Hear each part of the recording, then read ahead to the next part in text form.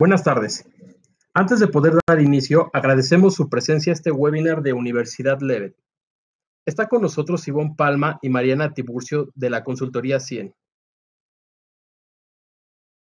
Ivonne y Mariana son psicólogas egresadas de la UNAM. Cuentan con un posgrado en psicología con especialidad en, neuropsicología clínica. Actualmente, ellas dirigen Consultoría 100 en la que se encargan de ofrecer soluciones integrales en el ámbito hospitalario, educativo y organizacional las cuales permiten el desarrollo del potencial humano. El día de hoy, en colaboración con Universidad Levet, nos presentan el tema Abordaje multidisciplinario en el tratamiento de la enfermedad de Parkinson. Sean bienvenidos. Cedo el micrófono a Ivonne y Mariana. Hola, ¿qué tal? Buenas tardes. Agradecemos a Universidad por eh, colaborarnos para eh, proporcionar esta webinar. Mi nombre es Mariana Tiburcio, yo soy eh, directora administrativa de la consultoría 100 y mi compañera Ivonne Palma. Mucho gusto. Eh, y bueno, nosotras lo que hacemos en 100 es eh, valoramos y realizamos diseños de programación en trastornos de neurodesarrollo y también la demencia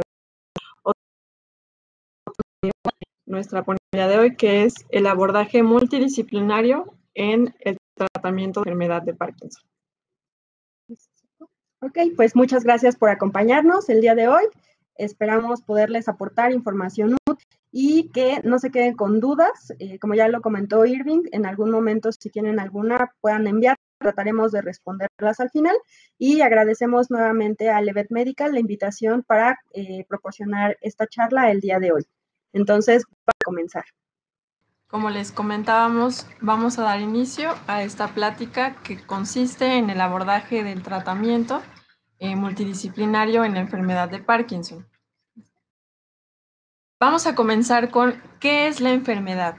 Bueno, este es un padecimiento crónico degenerativo, es decir, eh, produce el deterioro continuo de las células cerebrales. Eh, decir que las neuronas tienen una falla en la producción de sustancias, es decir, de los neurotransmisores, específicamente neurotransmisores que se llaman dopamina, acetilcolina, noradrenalina y serotonina. Estas sustancias se encargan de regular diferentes eh, funciones en el organismo. Entonces, cuando tenemos un déficit, que quiere decir que hay una falta o una falla en la liberación de estas sustancias, podemos presentar diferentes síntomas como eh, deterioro cognitivo, que se refiere a problemas en procesos mentales, como pueden ser procesos de memoria, procesos de lenguaje, procesos atencionales, el control motor principalmente, y también se pueden ver afectados otros eh, aspectos como los estados emocionales, alteraciones en la capacidad de la sensación y alteraciones de sueño. Eh, el Parkinson es la segunda enfermedad neurodegenerativa más común después del Alzheimer a nivel mundial. Les vamos a ir explicando paso a paso cómo es que este daño ocurre en el cerebro y los síntomas que ocasiona, tanto síntomas motores como no motores. Entonces veamos la incidencia y la prevalencia, que es la proporción de casos que tenemos en el mundo y en México. En el mundo tenemos aproximadamente 5 millones de personas de las cuales el 3% es población mayor a 65 años. Sin embargo, como podemos ver en la gráfica del centro, también es posible que la enfermedad ocurra en población más joven, desde los 40 años o incluso antes de los 40 años. Estos casos suelen ser eh, poco comunes y se les puede llamar casos juveniles, que generalmente tienen una causa hereditaria. Sin embargo, la curva se eh, acelera o aumenta a partir de los 60 años, que es cuando hay mayor probabilidad de presentar esta enfermedad. También podemos ver que hay una mayor incidencia en hombres que en mujeres, es decir, que es más probable que la enfermedad ocurra en hombres. Sin embargo, tenemos casos en ambos sexos. En México tenemos aproximadamente de 40 a 50 casos por cada 100.000 habitantes cada año, lo que quiere decir que se van acumulando cada año y en medida que va aumentando la eh, población de la tercera edad, vamos a tener cada vez mayor incidencia y prevalencia de esta enfermedad en nuestro país. ¿Cómo afecta el Parkinson al cerebro?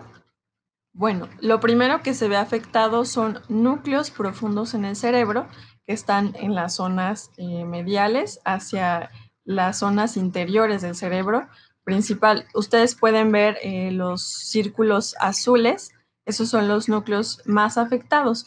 Uno de estos núcleos tiene el nombre de sustancia negra o sustancia negra estos núcleos eh, se encargan de la liberación de neurotransmisores, como les mencionaba, principalmente la dopamina, y estas sustancias se encargan de la comunicación con otros núcleos, como pueden ser el tálamo o los ganglios basales, y a su vez, estos núcleos tienen comunicación con otras regiones del cerebro hacia la parte superior. Toda esta comunicación neuronal permite el control del movimiento del organismo, entre otras funciones como el control de la respiración y el control eh, del buen funcionamiento de los órganos de los individuos.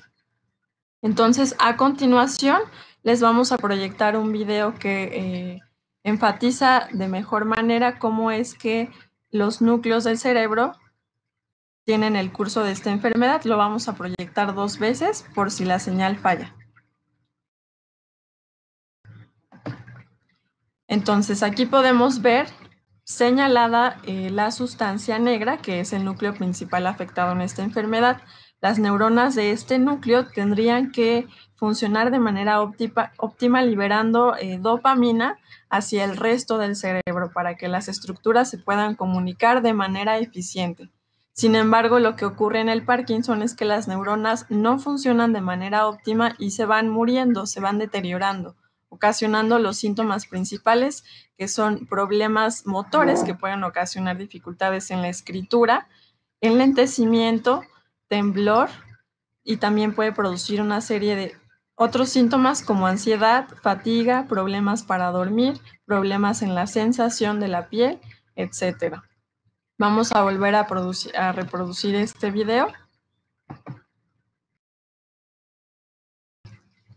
Entonces tenemos de nuevo a la sustancia negra, que es la encargada de producir el neurotransmisor dopamina, para que este neurotransmisor se comunique con otros y puedan llegar a las zonas del cerebro y esto permite el control del movimiento. Sin embargo, en esta enfermedad tenemos que las neuronas se ven afectadas y se van deteriorando hasta morir. Esto ocasiona síntomas como temblor, también tenemos síntomas motores como dificultades en la escritura, tenemos enlentecimiento, temblor, rigidez y otros síntomas como ansiedad, problemas para dormir y problemas sensoriales. Específicamente los síntomas se dividen en dos eh. Tenemos a los síntomas motores, que son temblor o tremor en las extremidades que se generalizan a todo el cuerpo. Entonces, si tenemos el temblor en las manos, se generaliza hacia los brazos y posteriormente hacia el tronco. Si tenemos temblor en los pies, se generaliza hacia las piernas y posteriormente al resto del cuerpo. Sin embargo, eh, esta enfermedad no solo ocasiona movimientos involuntarios y excesivos, sino que también puede afectar la movilidad de los músculos de manera que los vuelve rígidos y poco flexibles. Entonces tenemos poco tono muscular, lo que nos puede causar problemas para gesticular, para sonreír, problemas para guiñar el ojo. Es ahí donde comenzamos a ver que existen dificultades motoras ya sea que sea un movimiento excesivo o que haya falta de movimiento. En la, en la marcha o al caminar podemos ver que hay problemas eh, en las piernas como el lentecimiento principalmente o falta de equilibrio también. La falta de equilibrio ya es parte de los síntomas no motores. Aquí también podemos tener eh, mayor probabilidad de caídas, tener pérdida del olfato, problemas para dormir que van desde terrores nocturnos hasta el insomnio y dificultades en el lenguaje. Esto principalmente ocurre en la velocidad del lenguaje o en la articulación de algunas palabras.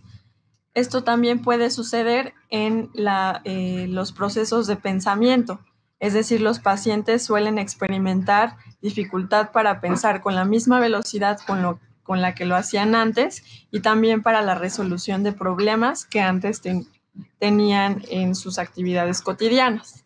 En casos graves puede haber pérdida de capacidad para tragar, es decir, la movilidad de los músculos bucofaringeos se ve afectada.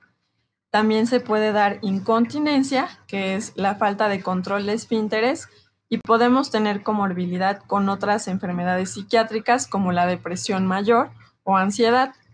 Es importante notar que estos síntomas pueden darse eh, eh, muchos años antes de que aparezcan los síntomas más fuertes, es decir, eh, podemos tener 10 años antes de que aparezca el temblor problemas en la motilidad de los órganos internos que pueden causar estreñimiento, por ejemplo. Entonces es muy importante estar alerta de cada uno de los síntomas que pueda tener el paciente. Esta enfermedad es de origen desconocido, lo que quiere decir que es idiopática. Si bien se han relacionado algunos aspectos genéticos y ambientales con esta enfermedad, todavía no se conoce una causa que esté comprobada y por lo tanto recibe ese nombre. Como es una enfermedad neurodegenerativa, es discapacitante y afecta la calidad de vida tanto del paciente como de las personas que lo rodean. Podemos notar que los pacientes dejan de hacer actividades de su vida diaria, por ejemplo, vestirse, cocinar, manejar o alguna otra actividad tanto dentro como fuera de casa. Y esto va requiriendo que el paciente eh, tenga más cuidados de los familiares, por lo tanto genera costos tanto económicos como emocionales. Esto es importante para que el tratamiento temprano eh, sea lo más óptimo de manera que tanto el paciente como los familiares reciban atención tanto médica como psicológica para que puedan eh, manejar de mejor manera esta enfermedad. ¿Quién realiza el diagnóstico y el tratamiento? Bueno, es muy importante saber que la enfermedad de Parkinson debe ser diagnosticada únicamente por un neurólogo. Este especialista realizará diferentes pruebas y exámenes, así como eh, dictaminar algunos estudios de laboratorio para que pueda confirmar la presencia de esta enfermedad. Una vez que ya existe ese diagnóstico y que el neurólogo ha eh, proporcionado un tratamiento farmacológico, se puede complementar con el tratamiento de diferentes especialistas.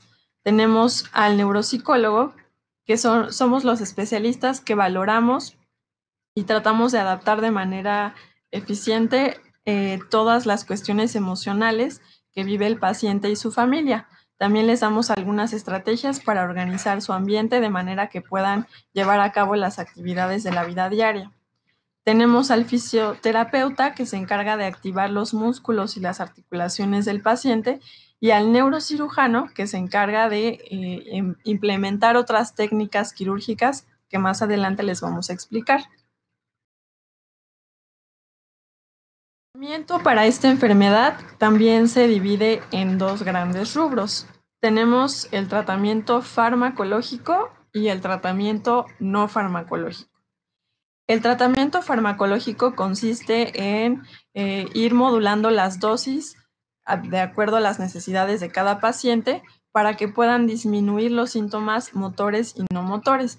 Es muy importante tener en cuenta que esta enfermedad aún no tiene una cura, sino más bien vamos a tener tratamiento integral que pueda enlentecer la enfermedad y disminuir los síntomas, de manera que el paciente pueda tener una mejor calidad de vida. Por lo regular, los medicamentos asociados con esta enfermedad son precursores de los neurotransmisores, principalmente de la dopamina. Es decir, lo que hacen es aumentar esas sustancias en el cerebro para que los síntomas puedan disminuir. También tenemos el tratamiento no farmacológico, que este puede estar integrado con el tratamiento. De hecho, lo ideal es que se den los dos a la par para que pueda haber una mayor eficacia en el tratamiento del paciente. Con respecto a la intervención neuropsicológica, eh, lo que busca es apoyar los síntomas emocionales, tanto del paciente como de la familia, las dificultades del lenguaje o de comunicación. Eh, también incide en los procesos atencionales, los procesos visoespaciales, porque estos pacientes suelen tener problemas para la escritura, el dibujo, la construcción y también problemas de memoria. Más adelante vamos a ver eh, con mayor detalle cuál es el papel del neuropsicólogo. También está el terapista físico que apoya la estimulación de los músculos y las articulaciones para disminuir la rigidez y el temblor de, eh, paciente. Y el neurocirujano puede implementar técnicas diferentes dentro de la que destaca la estimulación cerebral profunda, que es una técnica quirúrgica eficaz y segura para apoyar la disminución de síntomas tanto motores como no motores. Entonces, esto se puede dar en conjunto, el, tratamiento farmacológico y el tratamiento no farmacológico. Sin embargo, ¿qué es lo que pasa cuando no funcionan los fármacos? Eh, primero se tiene que hacer una serie de eh, pruebas en las dosificaciones y el neurólogo tiene que estar al pendiente de los pacientes durante un periodo específico de tiempo para asegurarse de que efectivamente los fármacos no pueden mejorar los síntomas en el paciente eh, específico.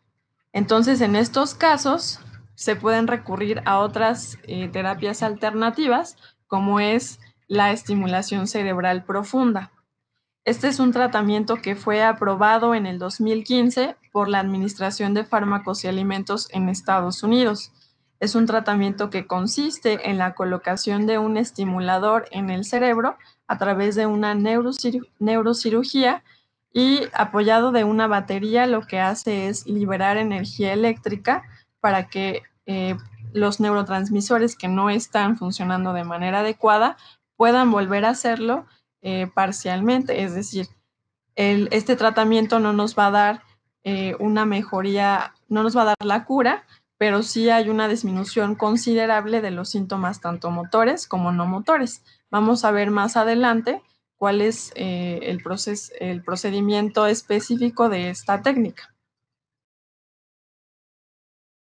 Entonces, pues ya hablando un poquito justamente en cuanto a la estimulación cerebral profunda, podemos decir que esta técnica consiste en una cirugía que es funcional y que va a ir dirigida principalmente a la estimulación de los centros nerviosos, cuyo funcionamiento se encuentra alterado por la presencia de esta enfermedad. Un poquito lo que ya nos comentaba Mariana. Es muy importante eh, comentar que este tipo de cirugía no va a modificar ni lesionar la estructura anatómica del cerebro. Lo que va a suceder es que se va a realizar como tal la, implantación de unos electrodos que van a ir directos al núcleo seleccionado y que va a consistir en un blanco terapéutico. Se dice que este tipo de abordaje es una neuromodulación. Eh, podemos nosotros observar en el siguiente video dos veces. ¿Cómo es que funciona esta técnica? En este caso, se realiza la colocación del neuroestimulador a través de una cirugía en un núcleo determinado y es ahí en donde se va a liberar como tal este pulso energético y vamos a observar que a través de la liberación de este pulso eh, se van a observar ciertos cambios principalmente descritos en la literatura científica a nivel de la sintomatología motora. Estos electrodos se van a conectar a través de un cable que va a ir por debajo de la piel y eh, van a ir directo hacia un generador de pulsos que va a estar en la parte anterior del tórax. Eh, la función de este tipo de, tratamiento es poder como tal incrementar la comunicación entre los núcleos, que en este caso ya los comentábamos hace un momento, que van hacia el tálamo, el globo pálido, la sustancia negra, que tienen que ver principalmente con la liberación de dopamina y que estas regiones eh, también sabemos que son las encargadas a través de este sistema de comunicación de poder modular como tal el movimiento. Entonces, es por ello que principalmente se observan estos cambios en esta sintomatología motora. Se sabe que junto con un tratamiento farmacológico adecuado eh, se puede mejorar eh, profundamente la calidad de vida de los pacientes que se someten a este tipo de intervención. Es muy importante que nosotros mencionemos que existen ciertos requisitos para que se pueda considerar a un paciente como candidato a realizar la estimulación cerebral profunda. Eh, uno de los puntos más importantes para poder asegurar que este tratamiento va a tener los resultados óptimos es justamente eh, que se realice una selección adecuada de quienes pueden ser posibles candidatos. Se sabe, como ya comentábamos hace un momento, que a medida que la enfermedad de Parkinson va avanzando, los pacientes pueden comenzar a observar que los beneficios que venían presentando a través de la ingesta de los medicamentos no van a ser eh, persistentes o no van a ser eh, igual de consistentes entre dosis y dosis. A este fenómeno se le conoce como deterioro de fin de dosis, es decir, comenzamos con la ingesta del fármaco, con, observando una mejoría de esta sintomatología y casi al final del tiempo, entre una dosis y otra, lo que vamos a observar es que estos eh, síntomas se van a agravar o se van a presentar más rápido. Entonces, cuando sucede este deterioro de dosis, se van a observar nuevamente la presencia de algunos síntomas como puede ser el temblor, la lentitud, algunas alteraciones en la marcha, si es que la, medicina no se toma de nuevo.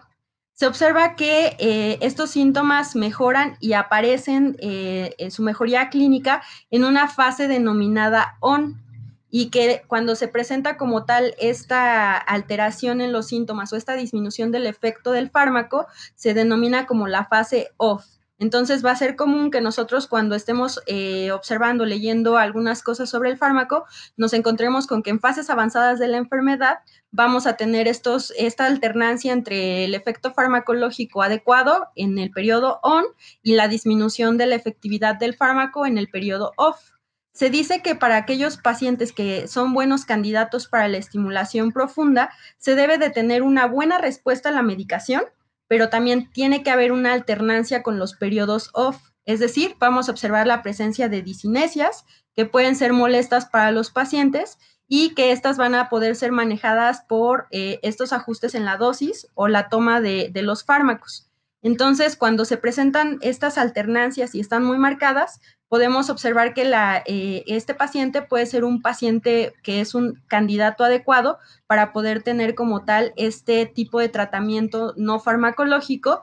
Y también es importante considerar que este tipo de pacientes tienen que tener también dentro de su núcleo familiar como tal un buen soporte social para poder tener como tal la identificación de cómo se están presentando todos estos síntomas, de qué forma están ocurriendo, llevar a lo mejor una especie de registro para poder ver con qué frecuencia, qué tanto tiempo transcurre entre que estamos eh, tomando la dosis y se están presentando estos síntomas para poder identificar adecuadamente estos periodos on-off y poder dar como tal una buena descripción de cómo se están presentando en función de eh, la ingesta de medicamentos. Ahora, eh, también es importante que les transmitamos cómo es que se lleva a cabo el proceso de selección de estos pacientes, dónde se realiza, quién es el encargado de, hacerlo y cómo es que se toma una decisión de qué tipo de pacientes son los adecuados para llevar a cabo este tipo de terapia. Para empezar, es importante que si nosotros estamos interesados en saber cómo funciona la estimulación cerebral profunda y si podemos ser candidatos a recibirla, debemos de acudir a un centro especializado donde exista el departamento de neurocirugía y de neurología y que puedan tener como tal una especialización en el manejo de esta técnica. En este caso, lo que va a suceder cuando lleguemos nosotros a este centro es que se va a realizar una, se van a realizar una serie de evaluaciones. Estas evaluaciones van a incluir el trabajo multidisciplinario que ya comentábamos hace un momento, en donde vamos a tener la participación de diversos especialistas. En primer lugar, se va a realizar una evaluación por el área de neurología, es decir, por un neurólogo que va a ser el especialista como tal en el tratamiento principalmente tipo farmacológico de la enfermedad de Parkinson. Es muy probable que este especialista nos solicite realizar eh, algún tipo de escáner o de imagen eh, cerebral, que es una especie de fotografía de nuestro cerebro, como lo que podemos observar en esta imagen, en donde lo que vamos a nosotros buscar es que eh, tengamos la certeza de que no existen alteraciones cerebrales que nos puedan impedir la realización de la cirugía. También va a ser importante que ya que tengamos estos dos puntos, la valoración por el neurólogo y la imagenología, los estudios de imagen, podamos tener también una consulta con un neurocirujano, dado que es este especialista quien se va a encargar de realizar como tal el procedimiento quirúrgico para la estimulación cerebral profunda. También es muy importante mencionar que se requiere una evaluación cognitiva y esta evaluación cognitiva debe ser exhaustiva y realizada también por otro especialista que en este caso es un neuropsicólogo. Entonces, es aquí a donde llegamos a la parte del enfoque multidisciplinario. En este enfoque multidisciplinario, cada uno de estos profesionales que ya comentamos hace un momento va a tener a su cargo una tarea muy importante. El neurólogo va a ser el responsable como tal de la selección de los pacientes, así como del manejo postoperatorio, es decir, después de la cirugía, que va a incluir como tal la programación, el ajuste de, de los medicamentos y el manejo de todas aquellas complicaciones derivadas que no son quirúrgicas. En este caso, el neurocirujano va a ser el responsable como tal de realizar el proceso de la colocación del sistema de estimulación cerebral profunda y va a ser el encargado de realizar todos los cuidados antes, durante y después de la cirugía. También va a ser el encargado de tener como tal el manejo de cualquier tipo de complicación que se pudiera llegar a presentar durante este proceso quirúrgico. En este caso, como lo comentábamos hace un momento, la evaluación neuropsicológica va a ser una tarea independiente y también va a requerir como tal la aportación de un especialista. En este caso, los neuropsicólogos son eh, quienes se encargan de realizar como tal este tipo de valoraciones y los neuropsicólogos son subespecialistas de la psicología. En este caso, la neuropsicología es una disciplina que se va a encargar de estudiar ¿Qué relación tienen estas estructuras tanto cuando se encuentran funcionando de manera adecuada como cuando hay alguna alteración, como puede ser la enfermedad de Parkinson, y el funcionamiento que pueden tener a nivel del sistema nervioso central? En este caso, nosotros nos enfocamos como neuropsicólogos dentro de nuestro ejercicio profesional para poder realizar como tal el diagnóstico, el tratamiento de todas aquellas eh, alteraciones o dificultades cognitivas conductuales y emocionales que puedan ser como tal consecuencia de una lesión cerebral, ya sea en este caso por algún tipo de daño adquirido o como eh, algún tipo de secuela por estas enfermedades neurodegenerativas. En este caso, entonces, el papel del neuropsicólogo dentro de este equipo multidisciplinario va a ser como tal poder proporcionar información acerca de cómo se encuentra el funcionamiento a nivel neurológico, psicológico, conductual de nuestros pacientes para poder aportar en el manejo clínico y poder favorecer los resultados que vamos a estar nosotros observando a eh, nivel de cualquier tipo de tratamiento que tengamos dentro de la enfermedad de Parkinson. Es muy importante que sepamos que la, neuropsicología y el abordaje neuropsicológico no es solamente la aplicación y cuantificación de pruebas diagnósticas. Es muy importante que nosotros sepamos que cuando tenemos o nos enfrentamos como tal al diagnóstico de la enfermedad de Parkinson, es muy eh, viable que acudamos con un especialista en el área de la neuropsicología para poder tener como tal una evaluación de base.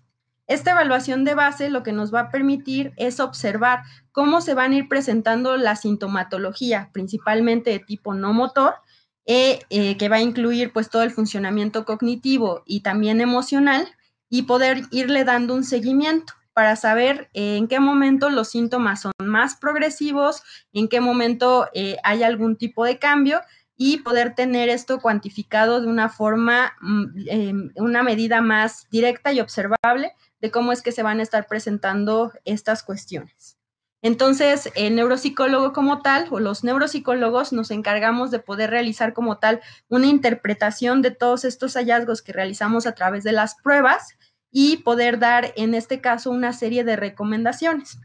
ya que, eh, como vamos a ver un poquito más adelante, el abordaje multidisciplinario y el abordaje conjunto de este tipo de patologías nos permite abordar no solamente la parte farmacológica, sino también estas recomendaciones de ciertas actividades que podemos nosotros estar realizando tanto en intervención neuropsicológica como en casa, como en los diversos escenarios en donde los pacientes van a tener interacción y que van a repercutir bastante en la calidad de vida de nuestros pacientes. Entonces, eh, pues todos estos aspectos neuropsicológicos y neuropsiquiátricos nos van a servir para ver cómo es que va evolucionando eh, esta patología y cuáles son los cambios más significativos que pueden estar presentando nuestros pacientes. Y como ya lo vimos también hace un momento, pues es también un, punto determinante en cuanto a seleccionar si nuestro paciente es candidato para poder tener otras alternativas de tratamiento, como en este caso puede ser la estimulación cerebral profunda. Hablando de ese tema, cuál va a ser la relevancia que vamos a tener nosotros eh, de observar o de obtener un perfil neuropsicológico, es decir, este rendimiento que vamos a tener en las diversas áreas en función del avance de la patología y cuál va a ser su relación con el abordaje tanto farmacológico como no farmacológico de este padecimiento.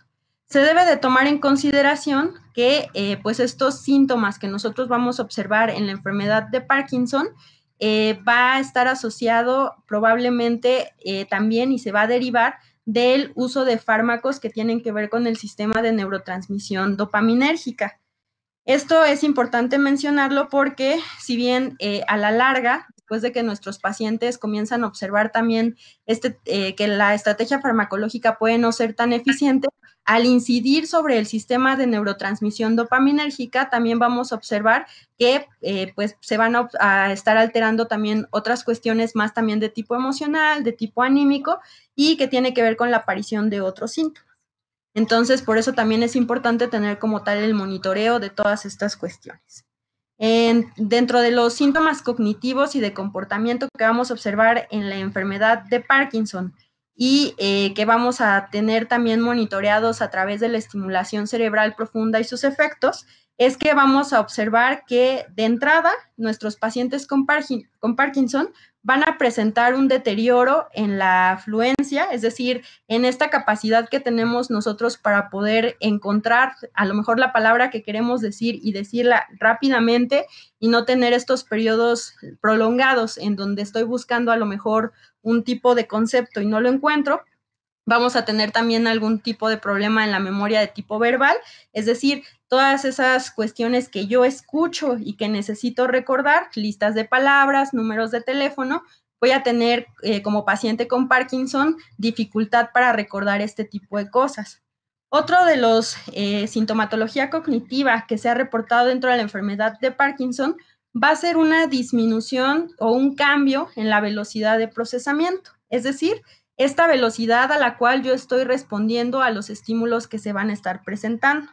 También vamos a observar dentro de esta sintomatología algunas alteraciones dentro de las funciones ejecutivas que tienen que ver principalmente con algunos aspectos como es el automonitoreo, la toma de decisiones, como eh, justamente toda esta capacidad que tenemos nosotros de hacer proyecciones, de poder observar cuáles son las consecuencias de las acciones que yo estoy realizando en un momento determinado.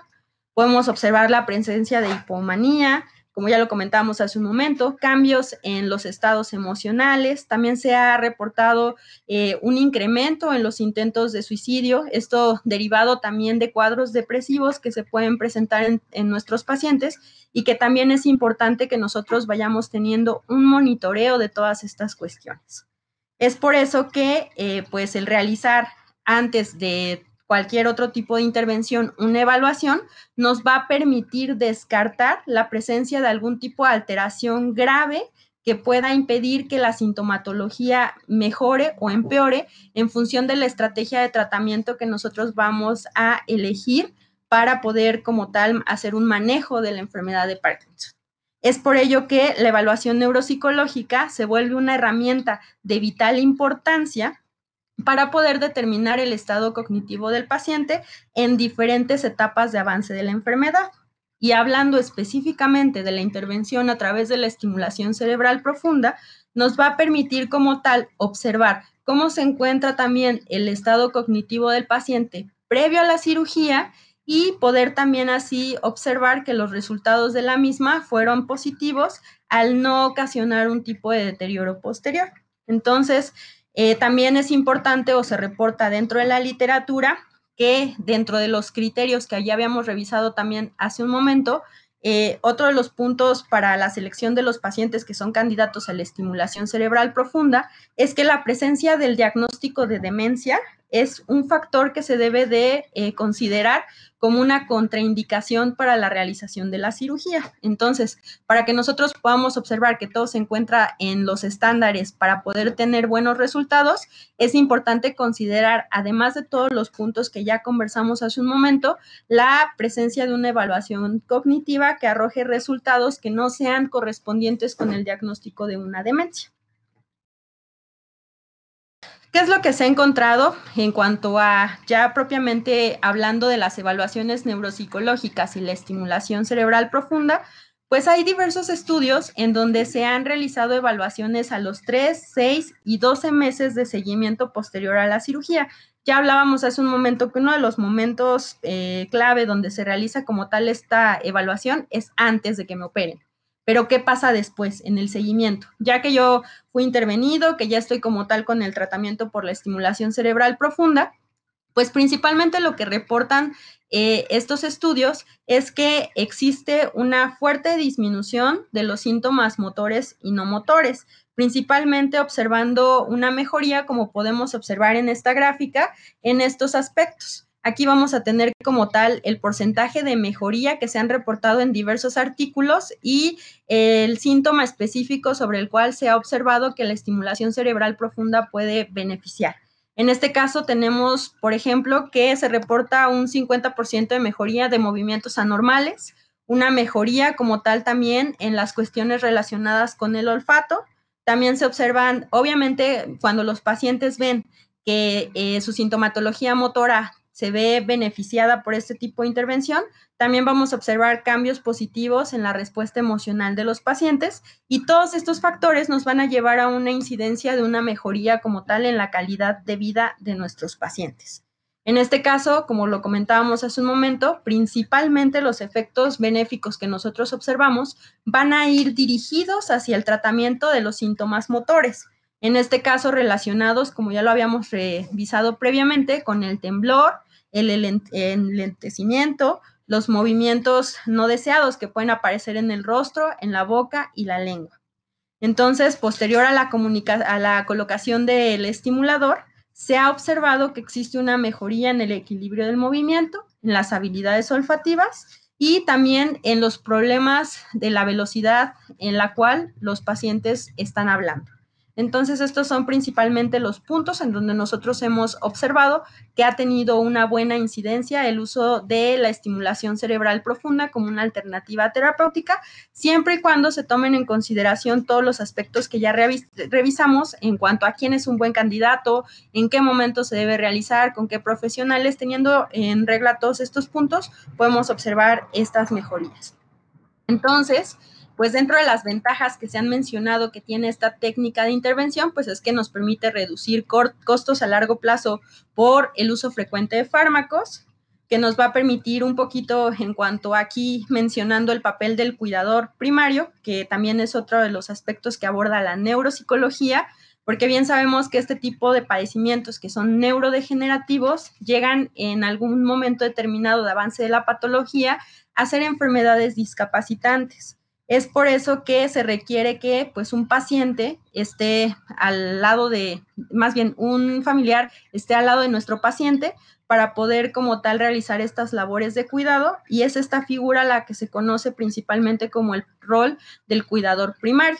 Y este cuidador primario tiene dentro de sus funciones, pues justamente vigilar que el paciente se esté tomando la medicina en la hora y en el momento en el cual le corresponde. Una de las ventajas de la estimulación cerebral profunda es que reduce esta vigilancia constante que tienen que tener estos pacientes en cuanto a la ingesta de medicamentos. Ya lo comentábamos hace un momento también que eh, pues puede reducir estos síntomas motores como es el temblor, la rigidez y el, el del movimiento. También va a reducir algunos síntomas no motores, como ya lo revisábamos hace un momento. Se ha observado también que tiene una mejoría en la calidad de sueño y que pues en algunos casos llega a enlentecer el curso de la enfermedad. En este punto es muy importante eh, mencionar y justamente alinearlo hacia la reducción del avance o la mejora en la calidad de vida de estos pacientes, que el abordaje siempre tiene que ser multidisciplinario.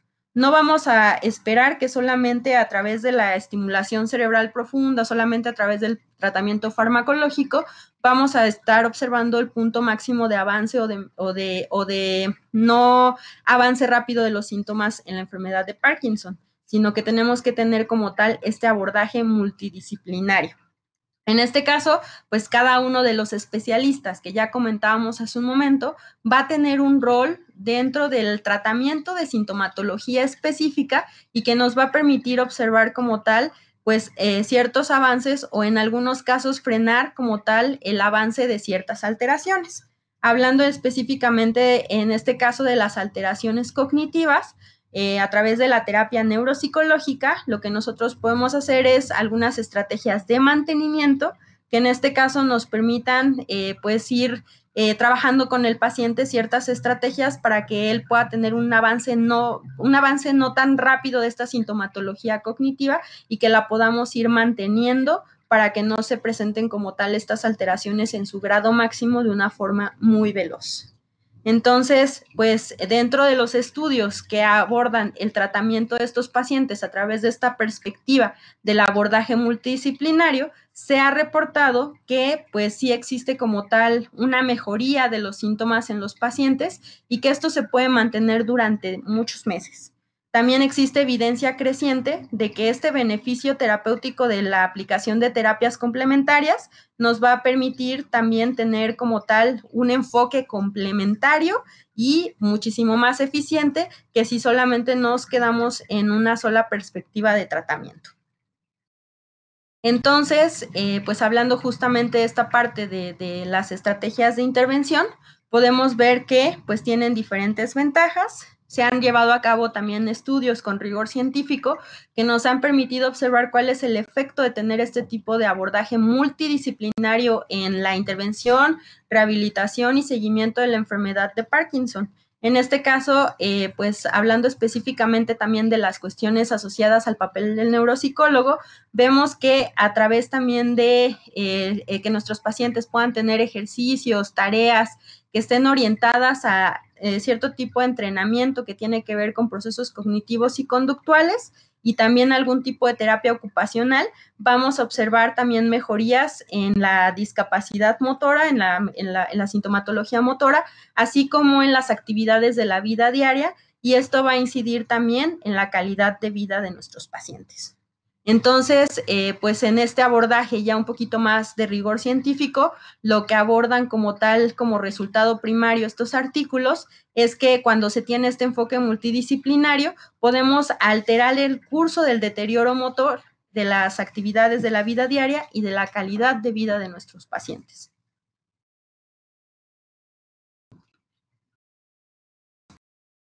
Bien, muchas gracias. Agradecemos a Ivonne y a Mariana su participación en, este webinar.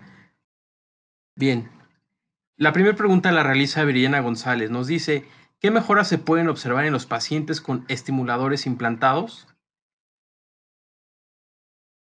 Bueno, pues eh, como hemos visto a lo largo de la presentación, también eh, a lo largo de una revisión exhaustiva de investigación científica, tenemos que eh, la estimulación cerebral profunda se ha probado desde el 2015 hasta la fecha en distintos países. Tenemos países de Europa, de Asia y de América también se ha probado aquí en México.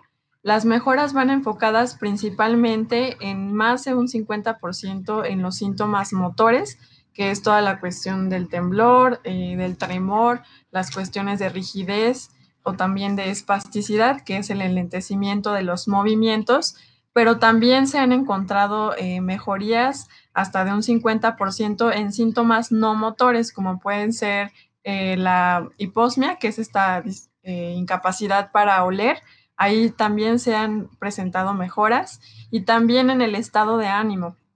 de los pacientes. Podemos presentar mejoras en cuanto a que ellos ven que todos sus síntomas motores disminuyen considerablemente y pueden llevar a cabo eh, actividades que antes no hacían, por ejemplo, abotonarse una camisa, un pantalón, eh, abrochar no sé, un cierre, manipular utensilios en la cocina. Imagínense que tenemos a un carpintero que tenga la enfermedad de Parkinson. La estimulación cerebral profunda podría ayudar considerablemente a que él volviera a tener la manipulación de las herramientas que son su principal fuente de trabajo. Perfecto, gracias. Bien, vamos a la siguiente pregunta. La realiza Laura Hernández, nos dice, a la larga la estimulación cerebral profunda ¿no resulta contraproducente por un deterioro más rápido del cerebro? Ok, en este caso, como lo comentábamos eh, a lo largo de la presentación, es muy importante que no pensemos que por tener como tal ya este tratamiento implantado, se tiene que dejar eh, avanzar en el curso normal eh, de la enfermedad. Tenemos que tener ciertas visitas con nuestro neurólogo, con nuestro neurocirujano, para poder realizar como tal un monitoreo de cómo es que está funcionando este estimulador, para poder hacer también una regulación de cómo es que está funcionando, si hay que hacer algún tipo de cambio. Y en este caso, este tipo de monitoreos son los que nos permiten observar cuál es el, el efecto que está teniendo como tal la implantación de este estimulador. Como lo comentábamos también eh, cuando describíamos la técnica, este tipo de intervención no es una intervención que modifique o lesione como tal por sí misma la estructura del cerebro, sino que más bien nos permite hacer una neuromodulación. ¿A qué se refiere esta neuromodulación? Pues poder como tal hacer un manejo de cómo se están liberando estas sustancias que nos permiten tener un efecto directo sobre la observación de los síntomas. Perfecto, muchas gracias. Bien, vayamos a la siguiente pregunta. La realiza Eduardo Gutiérrez. ¿Cuál es el tiempo después de realizado el diagnóstico de EP en que ustedes recomiendan el tratamiento con estimulación cerebral profunda? Bueno, eh, se ha revisado en distintos estudios que principalmente por la Federación de Alimentos y Fármacos en Estados Unidos, que es un tiempo eh, promedio de cinco años después de que los pacientes ya tienen eh, esto, este tiempo con tratamiento farmacológico y que este no responde como debería, es decir, no hay mejoras significativas en los síntomas tanto motores como no motores, es cuando se recomienda que la estimulación cerebral profunda sea una alternativa eh, pues segura y eficaz. Muchas gracias. De acuerdo, muchas gracias. Bien, tenemos una pregunta más. La realiza Alejandro Leiva.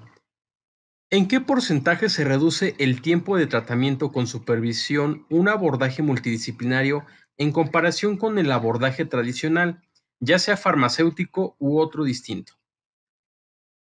Eh, bueno, a partir de que se da el diagnóstico de la enfermedad de Parkinson, el tratamiento debe ser eh, prácticamente temprano, es decir, desde que estamos teniendo sospecha es importante acudir con un especialista y ya que se da el diagnóstico, el tratamiento no tiene un tiempo promedio, es decir, es importante que el tratamiento sea a largo plazo. Estamos hablando de que tenemos que tener un manejo de por vida del paciente. Lo que sí podemos asegurar es que si hay un tratamiento integral, es decir, tratamiento farmacológico, terapia neuropsicológica, terapia física o incluso si se tiene la oportunidad de contar con la estimulación cerebral profunda, se disminuyen los síntomas considerablemente. De manera que a pesar de que el paciente eh, vea diversos especialistas, su vida es, podría ser, digamos que casi igual de eficaz antes de que iniciara con los síntomas eh, motores y no motores. Entonces tendría una calidad de vida bastante amplia. Sin embargo, tienen que tener una vigilancia constante de los especialistas, principalmente del neurólogo eh, de esta enfermedad. Entonces, sí hay que tener cambios eh, en los hábitos, también en los hábitos de alimentación, en los hábitos de actividad física, pero esto ya es pues una actividad de por vida.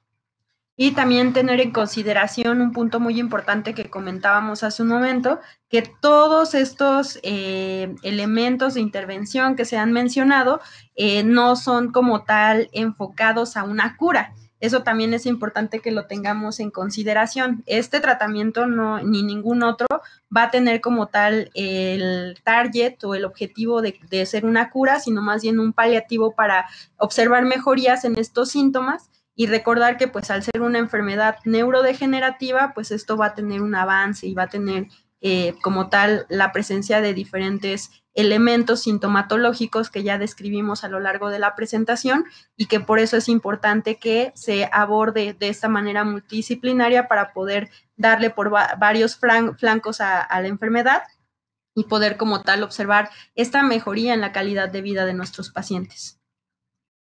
Perfecto, gracias. Eh, vamos a la siguiente, a la siguiente pregunta. Viriana González nos dice, ¿qué opciones existen para los pacientes con enfermedad de Parkinson atípica?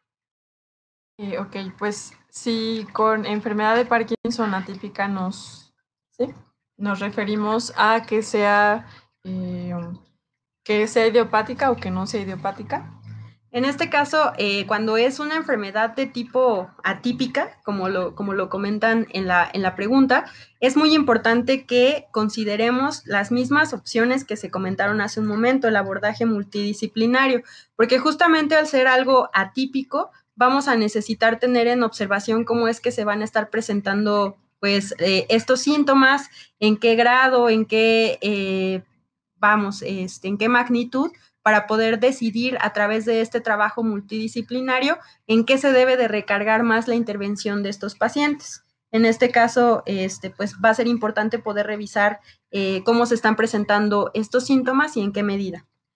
Podemos presentar en otras enfermedades neurológicas eh, como efectos secundarios temblor, como podría ser, em, a lo mejor, bueno, tenemos la enfermedad de epilepsia, que ese no es temblor, sino que son es otra la eh, las características de la patología, pero existen otras enfermedades donde, por ejemplo, se le puede llamar al temblor eh, síndromes o síntomas parkinsónicos, que no es como tal la enfermedad de Parkinson, pero que sí tenemos algunos síntomas como el temblor. Entonces, en estos casos tendríamos que eh, valorar todas las características del paciente para ver si es candidato, candidato a la estimulación cerebral profunda. Tendríamos que saber si las estructuras que están afectadas en su enfermedad corresponden con las estructuras de la enfermedad de Parkinson.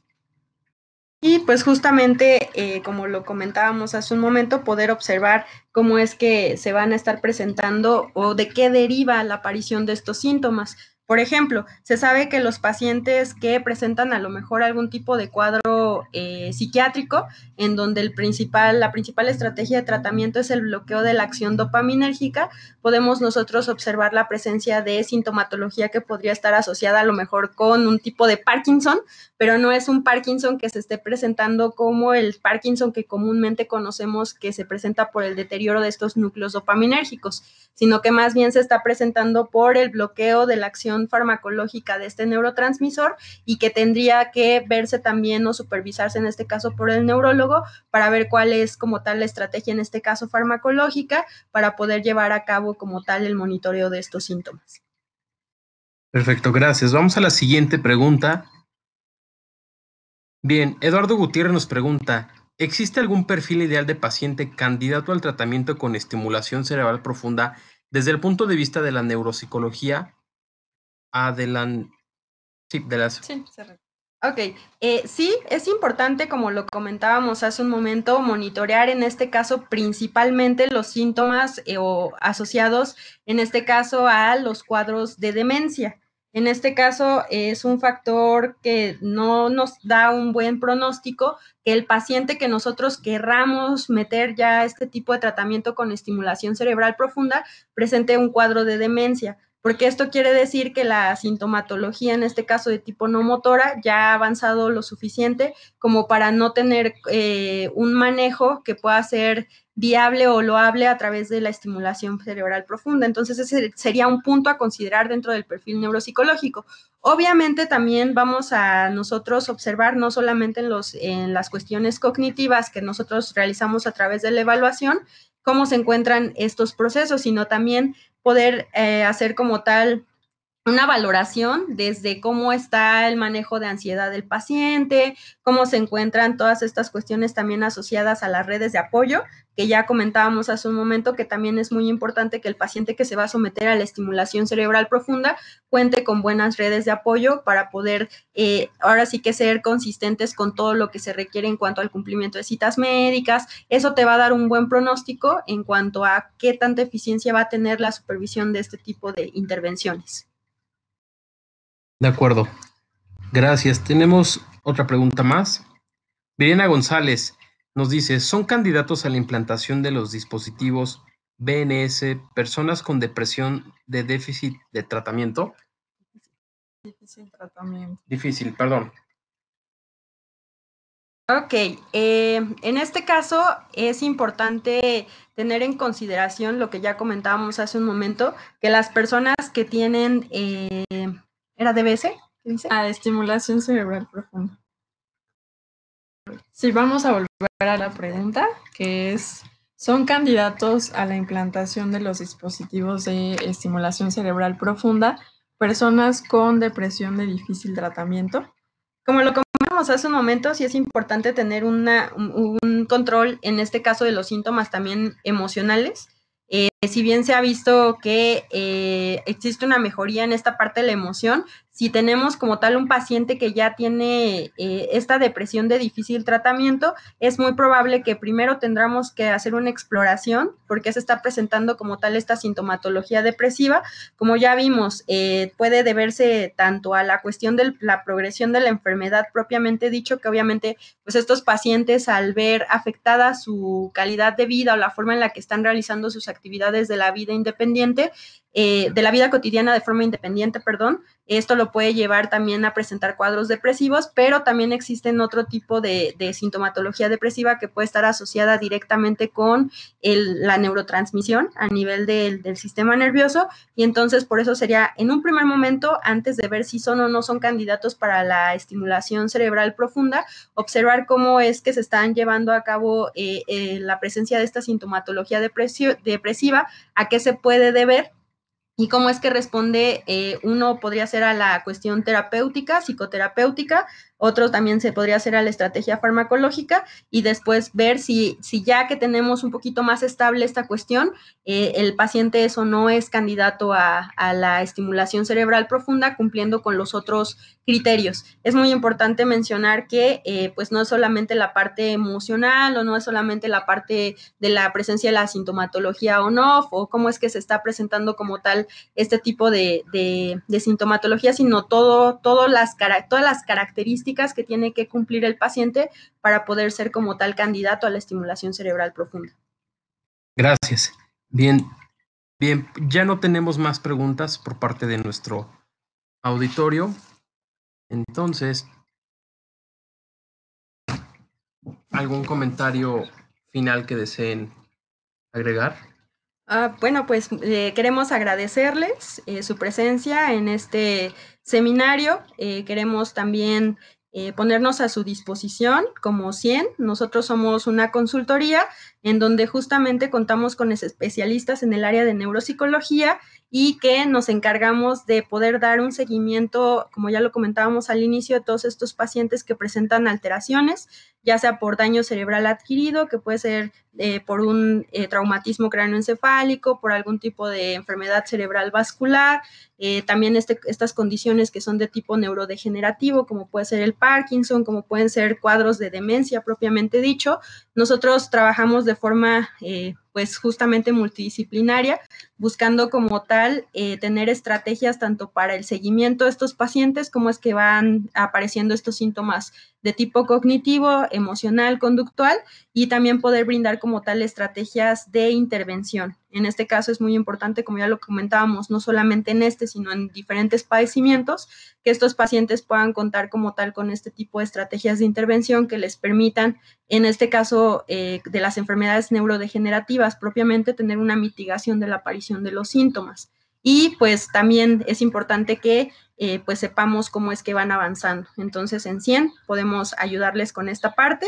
Eh, están nuestras redes sociales, nos pueden encontrar como 100 Neuropsicología y eh, constantemente estamos compartiendo con ustedes recursos a través de infografía para poderles hacer llegar eh, como tal conceptos que a veces llegan a ser en el ramo médico complicados de comprender, tratamos de hacerlos más accesibles para poder observar cuándo es que se están presentando puntos en donde tenemos que prestar atención dentro de la aparición de ciertos síntomas en diferentes patologías. Les agradecemos su interés y también reiterar que además de eh, tener estos tratamientos y valoraciones en población adulta, también los tenemos en población infantil con respecto a los trastornos del neurodesarrollo, como pueden ser autismo, eh, trastorno por déficit de atención e hiperactividad, discapacidad intelectual, problemas del lenguaje o del aprendizaje. Muchísimas gracias. Y pues eh, finalmente, pero no menos importante, agradecer a Levet por su invitación a este seminario y eh, pues quedamos a sus órdenes. Muchas gracias por acompañarnos. Agradecemos nuevamente su asistencia y damos nuestro reconocimiento y agradecimiento a Ivonne y Mariana de Consultoría 100 por su excelente participación. Los invitamos a que estén pendientes de próximos webinars. Hasta luego.